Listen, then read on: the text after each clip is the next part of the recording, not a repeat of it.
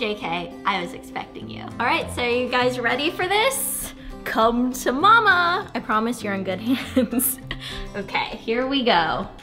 That is the front door. Ooh, that was a slam. Oops. Usually I'm a little bit more graceful than that, but not today. As we turn around from the front door, this is what my apartment looks like. As we move forward, first room is the room that I like to call Eileen's lair because this room has no windows in it at all. So when you close the door, it's completely dark. Watch this. I'm gonna close the door and turn off the light. It is pitch black in here. I'm turning around and you can't even tell, but that's what happens. Now this is also called Eileen's lair because this is the room that Eileen stays in whenever she's here and no, she does not sleep on the floor. Um, we got these really comfortable blow up mattresses that are actually the height of a regular bed. Blow up mattresses nowadays are amazing. So she'll sleep on that in here and anybody that's staying over or, you know, I've let friends stay at my place when I'm not here it just allows more people to sleep comfortably. And the blow up mattresses are just convenient because when I don't have people staying here, which is most of the time, it's a great room for storage. So I keep my shooting stuff in here. And then right now I just got back from traveling for a month. So there's a lot of suitcases and stuff in here. And I'm also preparing to move. So there's a bit of that packing going on as well. I will say though, because this room doesn't have any windows, you can sleep really, really well in here.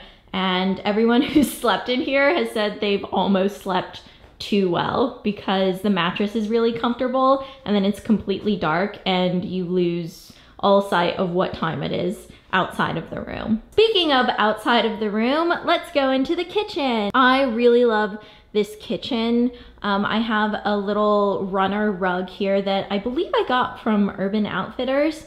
And I also really love my tea kettle. It's just bright and cute and red and I use it all the time, pretty much every single day because I love having a cup of tea. In this corner are some of my favorite things that I use on a daily basis. So I have my Irish porridge oats, which are my absolute favorite. I eat these almost every single day. And I like putting a little bit of agave for sweetness on the porridge, just to add a little bit of flavor. Behind these guys, my favorite kale chips. These are really cool because they're in the shape of tortilla chips, but they're made from kale and chia seed. One of my favorite teas right now is the Yogi Calming tea, and I'll usually have a cup of this at nighttime. Above all of that is my snack cabinet. Woohoo! This is where all the good stuff is. So I have some teas, digestives, oh my god, yum. These are the ones with milk chocolate some more kale chips, Newman's O's, corn chips, boxes of cereal that I'm not sure about. Those may or may not be good still, but I like having cereal for dessert because why not? You only live once, right? Is anyone still using YOLO or am I just an old person now? And then just some miscellaneous stuff at the top. There's hot chocolate mix and some random vitamins that I don't take as much as I should. On the side of my refrigerator, I have some interesting stuff. This is a little notepad to-do list. So if there's anything that I want to remember or I need to get, I put it on this.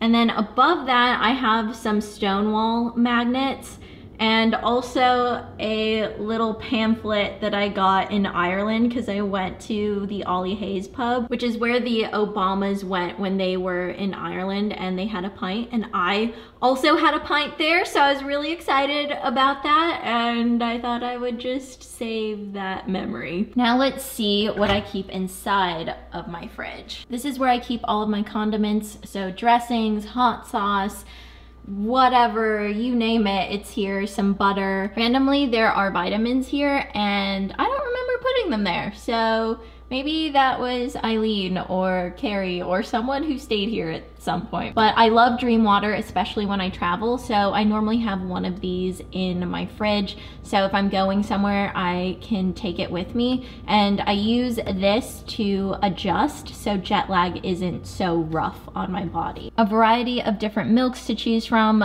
Big fan of the almond barista milk. It is amazing in coffee, tea, and also porridge. And then everything else in my fridge is in the main compartment. I have a plethora of dips because I like dipping those kale chips in things. And then some drinks, eggs, butter, fruit, salad. In the back here is a little cup with some oats in it. And these are those porridge oats that are being soaked. And this just makes them fluffier and yummier. So you just put these in the fridge and you can leave them overnight or for however long you want and then in the morning you cook them up and they're amazing. I also like having little squeezy pouches of fruit on hand because I pretty much get hungry immediately in the morning. So I like snacking on things that are basically baby food. Strawberry and banana puree, yum. Turning around from the fridge, this is what everything looks like. I have a bowl with fruit and garlic and chocolate in it. Dishes that have been washed. I don't have a dish rack, so everything just kind of gets laid out like that. My sink. By the way, I'm a big fan of this hand soap. It is from And Other Stories, and it is the Arabesque Wood hand soap. It smells so good. Moving into the main living area, I have a table and chairs here. If you're wondering, these are from a place called Organic Modernism, and I really, really love their furniture. I have some dried flowers here in the center of the table, and you'll notice that this is kind of a theme, fake plants, dried plants, and that's just because sometimes I'm away for extended periods of time, so why not have things that are already dead instead of letting things die while I'm away. And since I am filming this video on a Sunday, I always get the New York Times Sunday paper. I love reading it. I was just reading this article right here, class as a hand-me-down, and then have a little cup of tea, yum, yum, yum. This mug is special to me because I got it while I was on my solo road trip of the East Coast, and I got this while I was in Vermont and it's made by a local artist in, I believe, Burlington.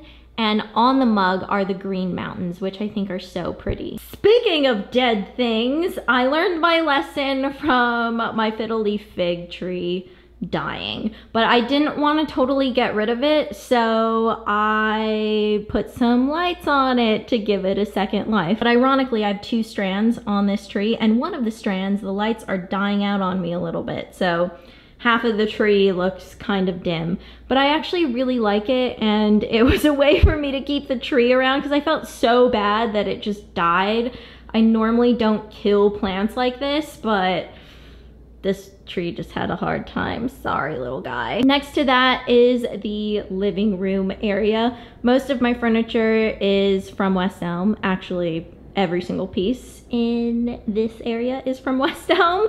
The couch, the rug, the table, and the TV stand all West Elm. On my couch, I just have a random assortment of pillows. This one, shout out to Patty, AKA Aunt Bay, who gave this to me when we were in DC together. She surprised me as I arrived at the hotel. If you saw that Snapchat, then you know I was very excited. This is my coffee table with stuff on it. These coasters are really cool because they are actually old records. I thought that was a really interesting way to repurpose them. Poems of New York because hey, I'm in New York right now. Little candle. So from this angle, this probably looks like a lovely little succulent next to a lovely little candle. But when I turn it around, yep, that is exactly what you think it is. It is a Lego minifig in the succulent plant, and that is actually an explorer. He has a map, and he's going through the succulent forest. Some more dried plants here on my windowsill. I have some eucalyptus on this side as well. But one of my favorite things about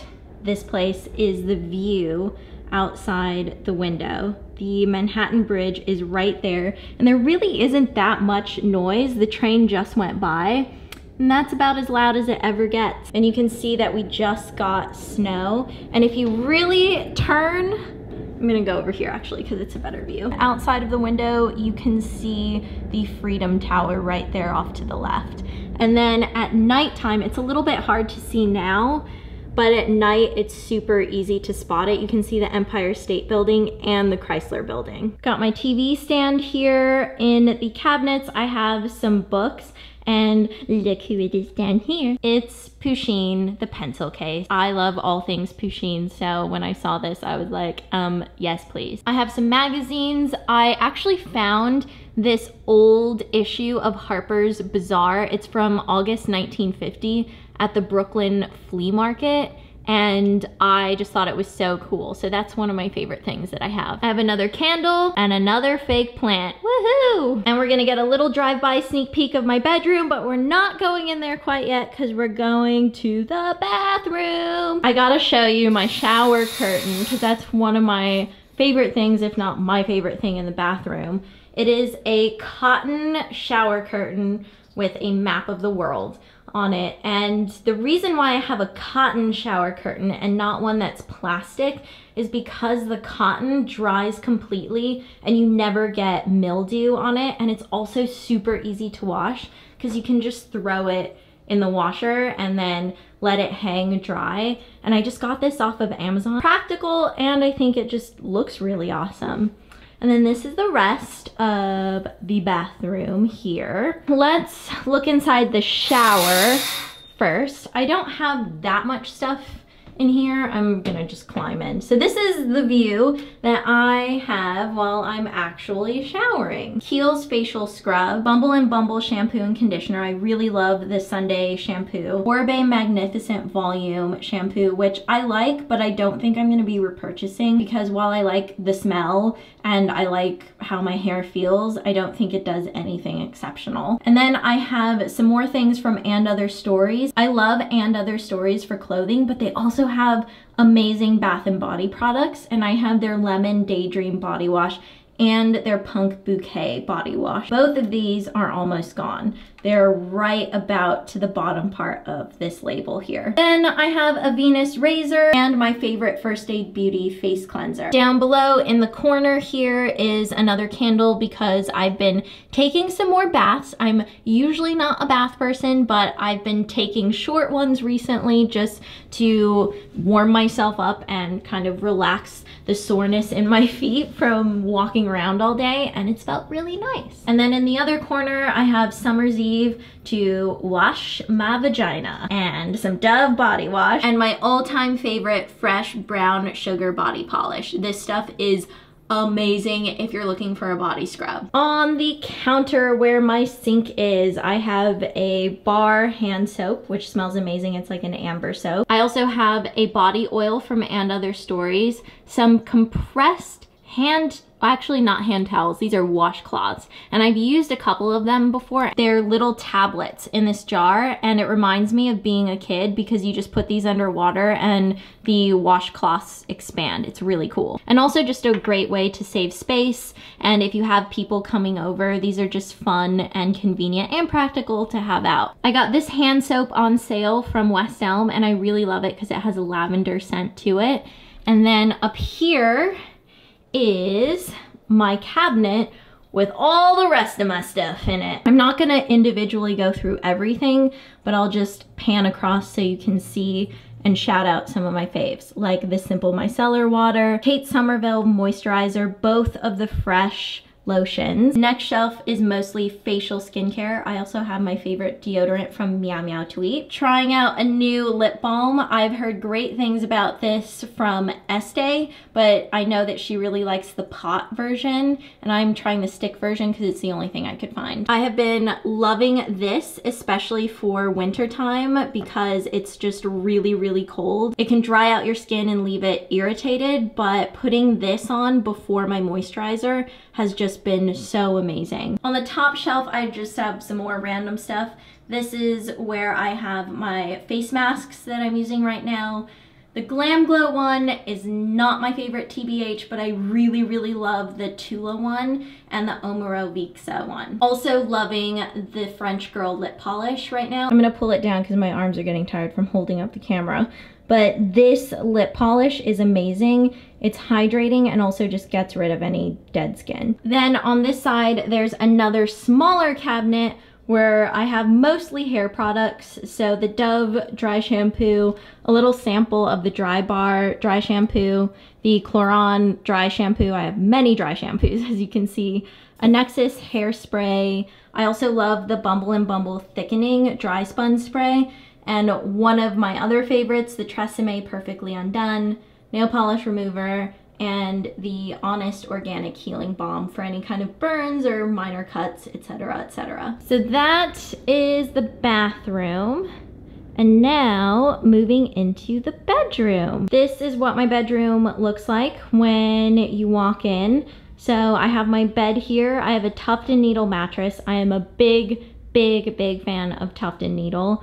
My pillowcases are from Urban Outfitters, the ones with the little dots on them, and also the pillow in the front.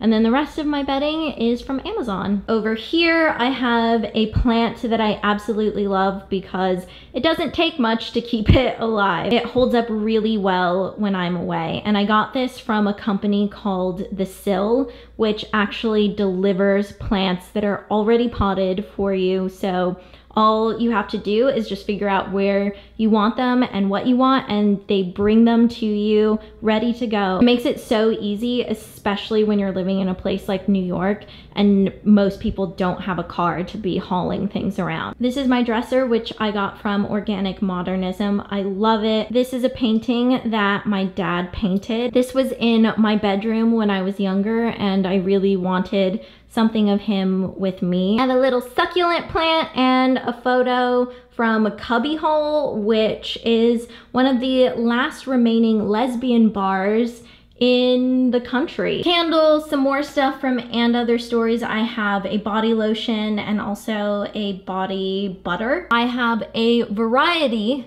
of things to choose from here and I just like having books with me everywhere I go. I have a little nightstand. This was actually part of a set of nesting tables from Urban Outfitters and I took the smallest one and turned it into a side table next to my bed. I have a graphic novel there. This is the stuff on my nightstand. You will definitely recognize the First Aid Beauty Ultra Repair Cream and then I have another lip balm here. I have another Lego minifig here. This is the Ice Queen. And then an amazing, amazing candle that I got from Estee. She sent this to me as a gift and I love it so much. And the little pot that it comes in is so beautiful. The candle itself smells like jasmine and jasmine is one of my favorite scents. I have some more books over here, some poetry, Brave Enough because that goes everywhere with me. And then the window. So this is more of the view. This is what I see from my bedroom and this is just so amazing. I am so sad to be leaving this, but I'm never gonna forget it. And then turning around, this is what it all looks like from my bed. I have a full length mirror over here Gotta do the mandatory wave and mirror, right? Today I'm actually wearing a sweater from And Other Stories. Wow, I have a lot of stuff from And Other Stories. I didn't realize that. I mean, I had a feeling, but this just really shows how much I love it. This is one of my favorite oversized sweaters. And then I have on a pair of Paige jeans and then my little house slippers that are super cozy and warm. Next to my mirror is my closet, which is pretty barren not only because I'm moving, but because I just don't really have that much clothing. So this is the extent of my closet. Just some miscellaneous hair, lint roller, my favorite Jo Malone perfume, some sunglasses, straightener, hairbrush. I love my NuMe straighteners and I saw, I think on Instagram that NuMe is now called Curled, I believe, said that they were launching in January and I'm really excited to see if they have anything new because I love my NuMe straightener and curlers and everything. So I can't wait to see if they have some new things because I'm going to be all over that. So these are my little makeup bags here. The little leopard print bag has my brushes in it. I have my Bare Minerals Original Foundation, which I wear every single day that I wear makeup. Underneath that is a little Bare Minerals highlighter duo, which I also really love. And then in here is just a lot of stuff. I have my Too Faced Peach Palette, which I'm loving. This Tom Ford lipstick. Another one of my favorites that I wore recently in my Q&A video is this Bare Minerals Lip Color in Love. These are really moisturizing and I love the color payoff. Over over here, I have another little Pusheen. This is a Palm Pusheen. How cute is this? And I just took this off of my purse because I didn't want it to get all dirty around New York City. Then here is a stack of my playbills from shows that I have been to. My favorite, Hedwig and the Angry Inch. then I also have Fun Home. And in this cardboard is a signed playbill from Michael C. Hall, who is one of my favorite Hedwigs. Eileen got that for me as a gift for my birthday and I just treasure it so much. All right, so that is my New York City apartment tour. I really hope you guys enjoyed it. This has been such a special place for me and it really means a lot that I get to share it with all of you because in the last two years that I've been here, I've gone through so much in my life and this place has been such a huge part of those changes. Since I was a little girl, I always had a dream of living in New York City on my own terms and I told myself I would do it for two years and that's what I've done and I feel so proud but so sad to be leaving and hopefully I will be back one day in the future. You never know. I'll definitely be here visiting and working but as far as living, I would love to come back in the future at some point. But in the meantime, I am going to be moving really soon and consolidating everything in LA. And once the move on both ends happen, because there's a move that has to happen in LA and then the move across the country from New York, I'm gonna mush all of that stuff together into a new place and I will be sharing that with all of you as soon as I get the place. Because at this point, I don't even know what the place is gonna look like or where exactly it is. So it's an exciting but sad time, the end of one chapter and the beginning of something new. Thank you so much for watching this video and for just being a part of this journey that I feel like we're all on together. Make sure you subscribe to my channel so you don't miss any of my videos coming in the future. And if you enjoyed watching this video, make sure you give it a thumbs up. I will see you all later. I hope you're having a wonderful day. Bye.